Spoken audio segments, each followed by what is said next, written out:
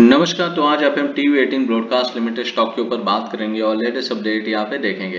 TV eighteen में last week में काफ़ी बढ़िया मीन्स इस वीक में रैली देखने को मिली। रैली के बाद जो है स्टॉक फिर से 50 लेवल पे जो है रेजिस्टेंस लेता हुआ दिखाई दिया, जो कि आप लोग क्लियरली यहाँ पे आप देख सकते कि दो तीन दिनों से पिछले स्टॉक 50 लेवल पे रेजिस्टेंस ले रहा है और वही से जो है मोमेंटम फिर से चेंज हो गई, उसमें ही एंड टू ब्लू कलर का जो लेवल है 200 डेज़ का मूविंग एवरेज है, वो एक सपोर्टिव लेवल जोन था रेजिस्टेंस था।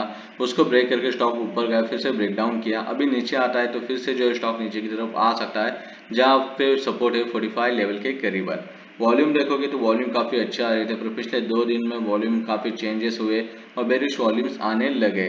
अगर वॉल्यूम इंप्रूव होंगे तो ऑटोमेटिक मोमेंटम में चेंजेस फिर से देखने को मिल सकते हैं।